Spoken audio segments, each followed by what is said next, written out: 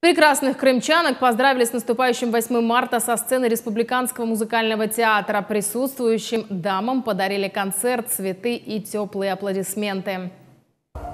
Кроме этого, жительницы Крыма получили и заслуженные награды. Нагрудные знаки, благодарности и грамоты достались представительницам прекрасного пола, которые проявили себя в общественной работе, защите закона, помощи людям и предпринимательстве. Теплые слова в адрес виновниц торжества прозвучали от главы республики. Будьте здоровы, будьте любимы, что все у вас в жизни получилось, а мы вас будем защищать, поддерживать. На нас рассчитывайте. Спасибо вам и с праздником вас 8 марта.